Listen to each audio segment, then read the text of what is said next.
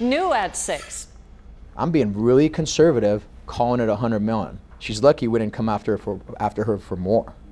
That local man claims reality star Kim Kardashian ripped off his product, and now he's looking for $100 million. This is the creation at the center of this lawsuit. It's a cell phone case, and it lights up for selfies.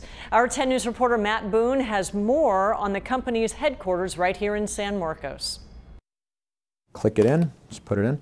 This is the Snaplight case. It has uh, uh, battery indicators on the back. It's got a very responsive button. Bardia Rahim says he and his business partner, Aubrey James, came up with the idea in a Vegas bathroom when a line of people were trying to take pictures with a famous bodybuilder. We just come up with some sort of light around the cell phone so when you're record, when you're videotaping or taking pictures, you got better lighting. Here we are standing in a dark space. This is what the product's designed for though. You look into the camera, you're all fuzzy and dark, but then you turn it on and there you go. Oh. This is what people are fighting over is the ability to look beautiful in your selfies. Snaplight's competition is made by the company LuMee, which Kardashian has marketed on social media.